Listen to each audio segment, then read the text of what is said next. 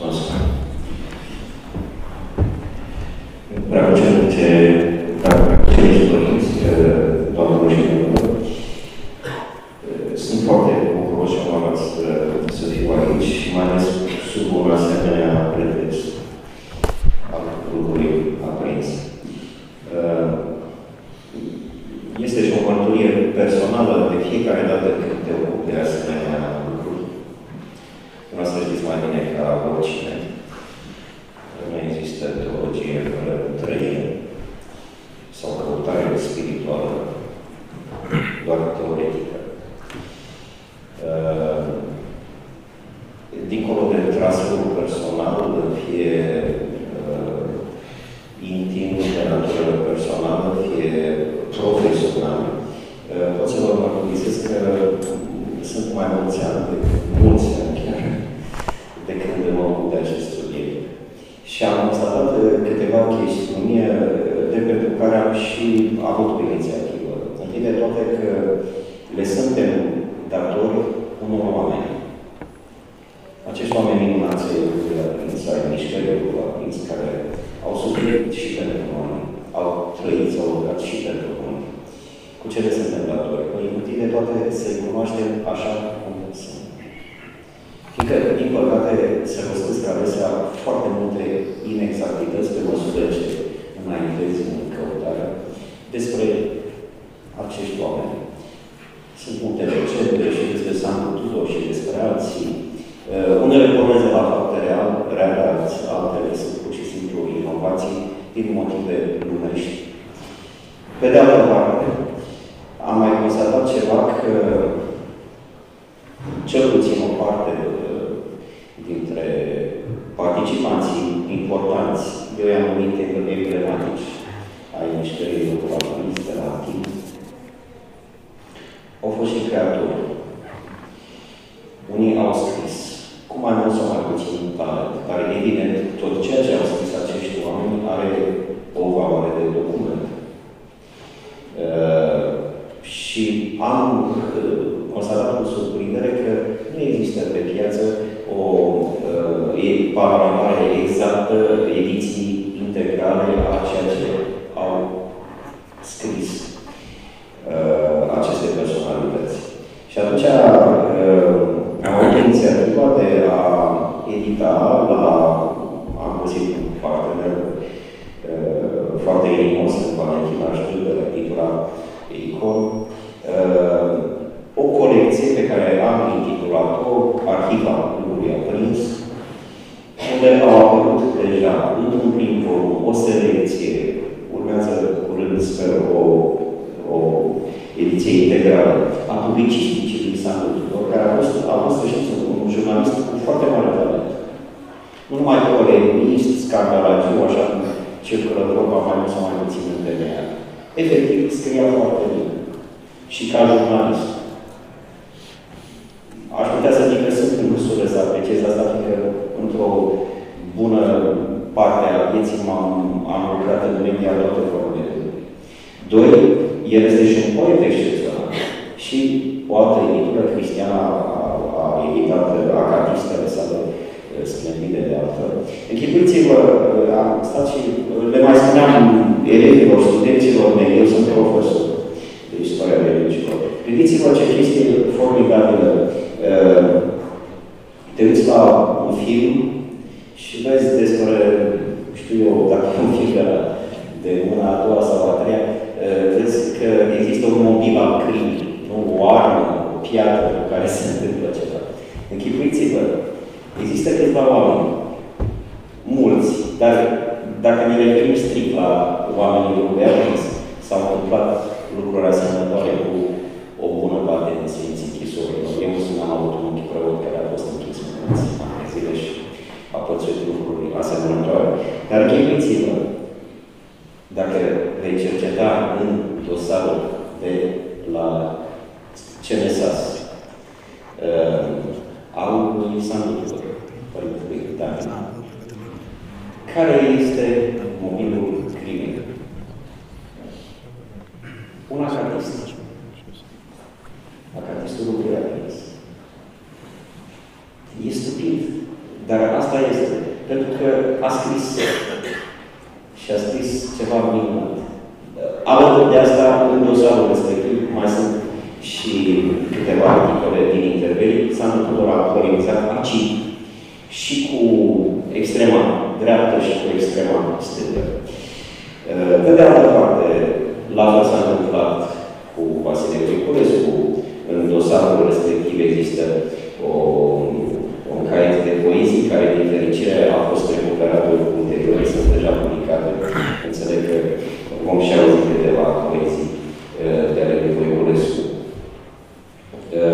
Și un al treilea personaj al grupului aprins, mă refer la domnul Alexandru Todorescu. Alexandru Todorescu, știți bine, este numele real, Alexandru Tudor, Alexandru Tudor este un pseudonim. Dosarul se numește Alexandru Todorescu și alții. Ei bine, un al treilea personaj care a pătimit, inclusiv, dincolo de manipulări, dincolo de faptul că există un, un anumit context istoric pentru care au fost arestați acești oameni, discutăm până uh, mâine dimineață. Uh, mă refer la Alexandru Mironescu. Și în cazul său, în dosarul său, există pagini de jurnal care au fost arestate. Un om care, a cărui scriere uh, a fost comparată, mă refer la jurnalul lui Ionescu, cu jurnalul lui Șteanca, Nicolae Șteanca, Părintele Nicolae de la Este al doilea volum pe care l-am publicat în arhiva grupului Aprins, în această colecție.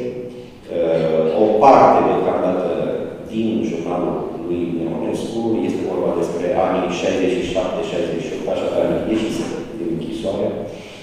Și uh, vă asigur că sunt lucruri excepționale și în acest jurnal. Acum, de ce mai sunt importanți acești oameni? Mă refer la toți membrii grupului aprins, în măsura în care cunoaștem, unii au fost foarte discreți, uh, fiindcă au trăit foarte aproape de noi. Iar aceste momente ale spiritualității uh, creștine ortodoxe pe care le-a remarcat și le-a contat Părintele, uh, sigur că da, sunt, sunt, uh, explodează prin mișcarea lui aprins, care are mulți cercetători în part, în part cumva similar cum ați făcut dumneavoastră în aceste câteva etape. Dar aș îndrăzni să spun că, de fapt, ceea ce i-a unit pe acești oameni e o întreagă discuție dacă Părintele Stănbaia a făcut sau nu a făcut parte din grupul aprins. Și atunci te întreb, care este criteriul după care un om care a trecut pe acolo sau care se laudă că a trecut pe acolo, a făcut sau nu a făcut parte din acest lucru. Ei, există, dacă veți studia ceva mai mult și cărțile esențiale care s-au scris pe acest subiect, există uh, câteva cercuri concentrice, am putea spune. Erau mulți care participau ca audienți. Pur și simplu uh, erau studenți, erau oameni foarte tineri, am cunoscut unii mai trăiesc și astăzi. Erau alții care, efectiv, conferențiau, participau activ, chiar cu întrebări.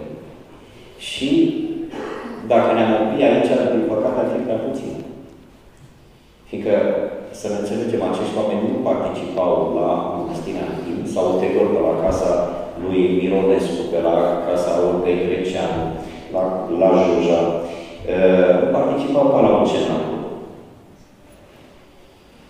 Au fost mai multe, au fost nenumărate cenacuri și întâlniri intelectuale sau ale, ale intelectualilor, bise, teologi cu intelectuali laici în diferite momente ale interveniului românesc și apoi venind mai încoace până la, până la instaurarea comunismului. A fost o mișcare care se numea Știință și Cunoaștere. Din aceasta a făcut parte Alexandru Mironescu, împreună cu Anton Dumitriu, o altă personalitate reală a, a lui Artis, care efectiv a, a fost acolo și a participat efectiv. A fost uh, o altă grupare, și soră. Uh, este o întreagă dinamică aici, care, sigur, este mai mult sau mai puțin cercetată. Așadar, revin. Care este elementul pe baza căruia ai putea să spui, da, acest om a făcut parte din rugul aprins. E bine, mai este un cerc mai mult sau mai puțin vizibil. Acei oameni care, întâi de toate, au primit binecuvântarea pentru a practica rugăciunea isihastă din partea Părintelui Ioan Culchin. Și aici, de mai multe treburi, că este vorba și de un cerc al oamenilor mai în vârstă, și de tineri, Părintele Borcașiu, care a mai fost pe aici, a făcut parte dintre câțiva tineri care au primit acea binecuvântare, nu sunt numai 12, cum spuneam, că nu de într-o sunt mai mulți.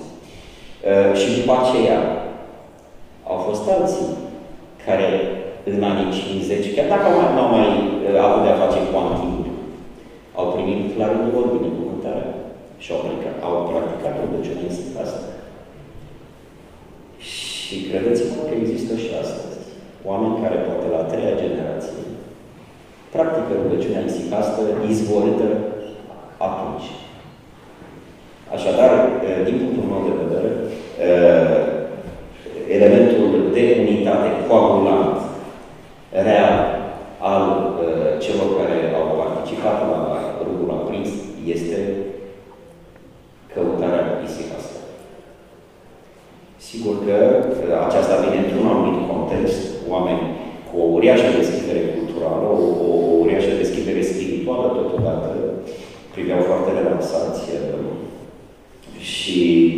Uh,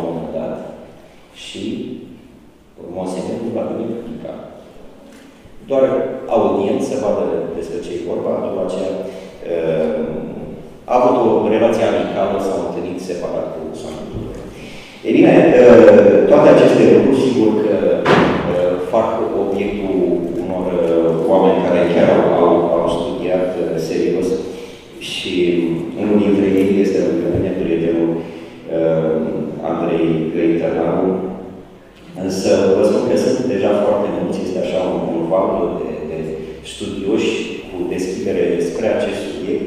Important este să se trateze cu instrumente științifice, universitare, academice, vreau să spun, uh, și uh, să nu plecăm urechea către diversele legende care sunt mai mult sau mai puțin uh, deplasate. Ai să auzi legenda că Sandu Tudor a căzut cu avionul pe Marea Neagră. Când în realitate el a căzut pe uscat. Este o certitudine aceasta. Că ar fi fost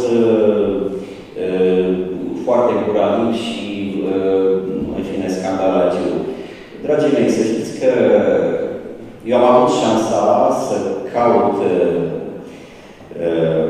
să bat la ușa căutării isipaste, că acum vreo 30 de ani de Părintele Chiopa. Să credeți că Părintele Chiopa era, era foarte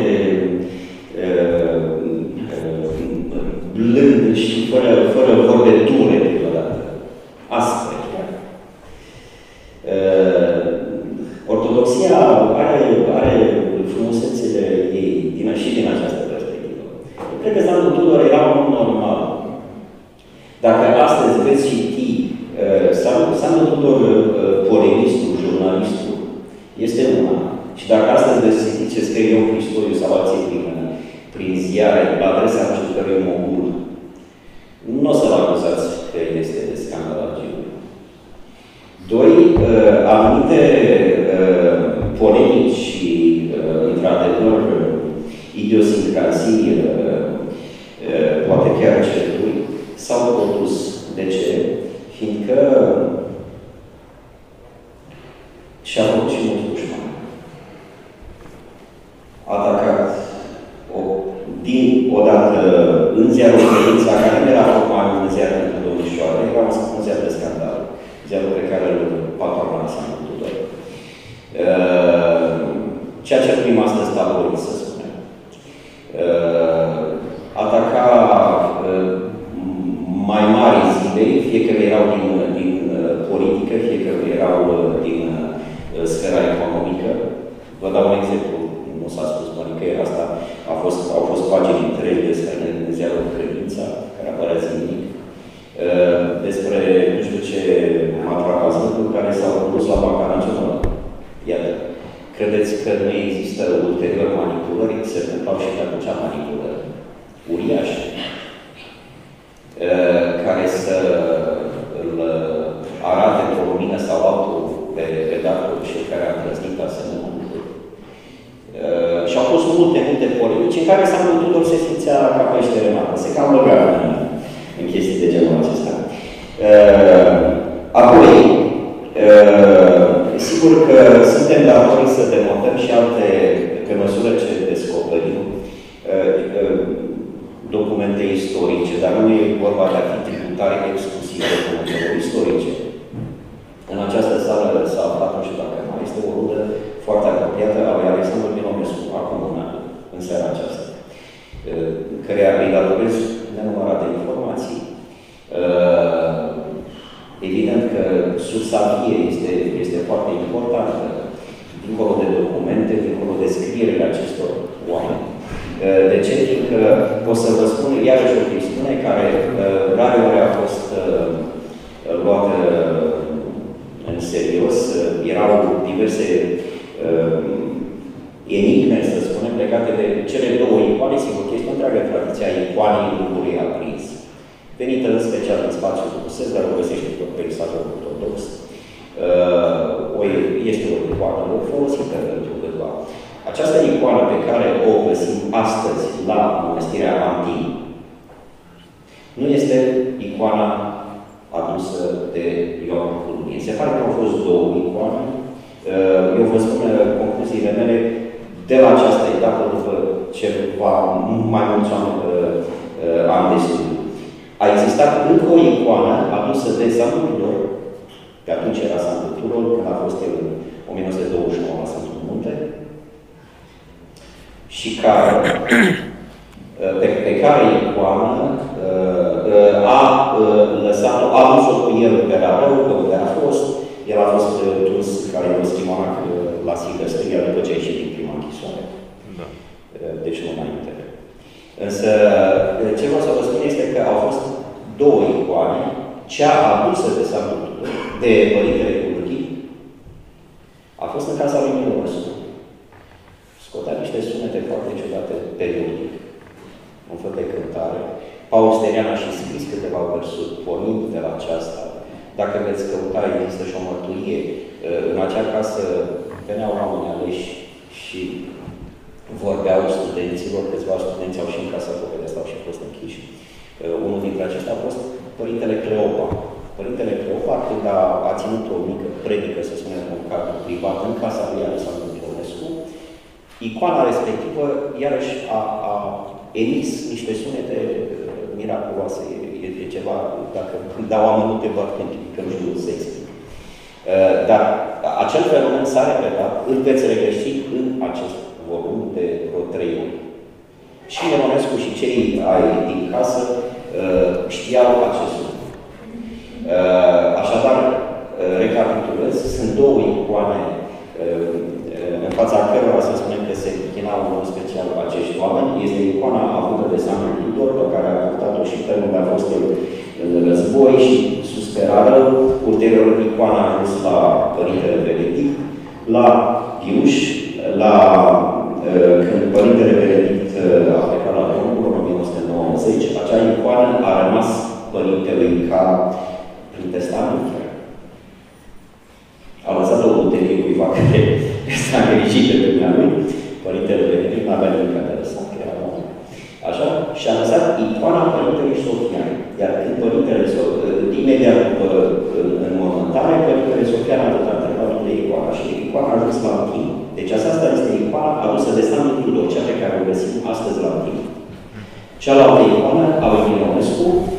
icoana, este icoana uh, adusă de Ioan Curălin. Să știți că mai sunt multe lucruri de spus aici, nimeni de multe. Există o, o cruce foarte frumoasă undeva prin București, rămasă tot de la Părintele Curălin, care undeva la tretăirea celor